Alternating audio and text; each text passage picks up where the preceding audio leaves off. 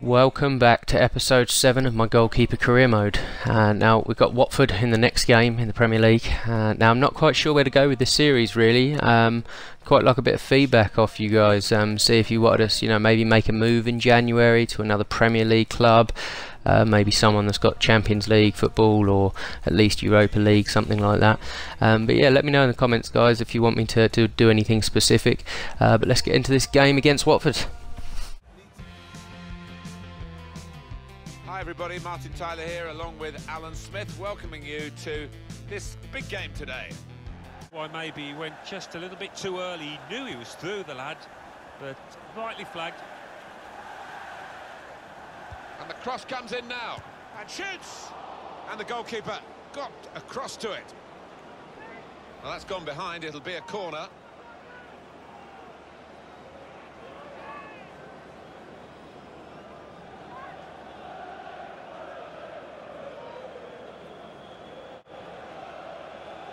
Attacking well here. This could be a chance. The shot's on, and the ball's in. It's a goal. Well, what a way to mark your debut, Martin. Really did take that well.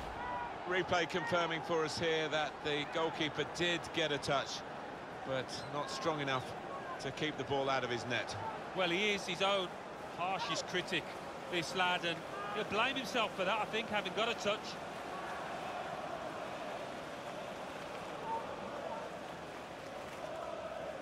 Gray. Steven Defour. Promising build-up until that challenge.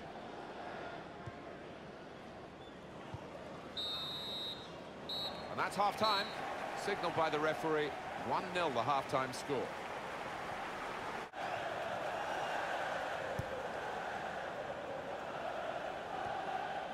So how about Watford and their next game, Alan? They're playing Bournemouth in their next match. I think they'll find it pretty easy in this one. Etienne Capoue moving forward with some... Oh, he's through and shoots! Well, that was an opportunity for him to score again. 20 minutes now remaining.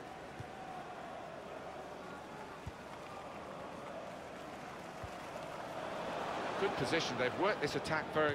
It could be a chance! He's kept it out. Ighalo building steadily here, keeping possession.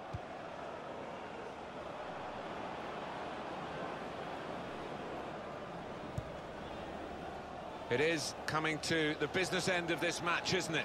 And they're still looking for that elusive goal. Yeah, the crowd trying to cheer up their players, trying to get behind them, trying to produce a bit better than we've seen so far.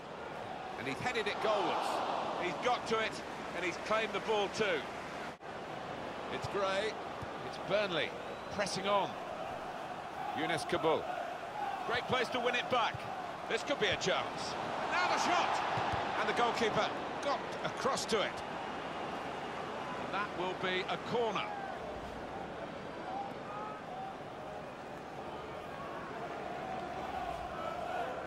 And now we're going to have an alteration.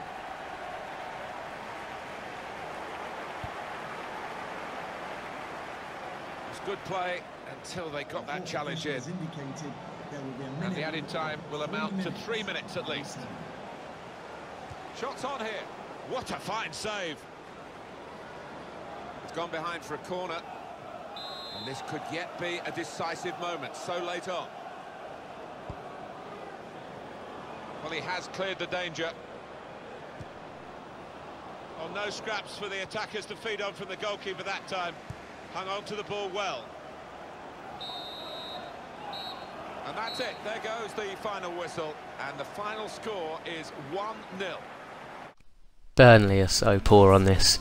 I think it's because they play a 4-4-2 and they haven't got really any wide wingers, so they can't exploit that space that that the sliders gives them at the full-back area. Um, but I'm not, I'm not too fussed. You know, we're we're getting we're getting quite a few shots on us on our goal, so it, it's not the end of the world. Uh, but you can see the league table there.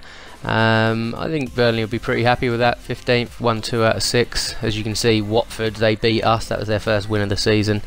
Uh, but there we go. But we've got the big one next. Arsenal at home.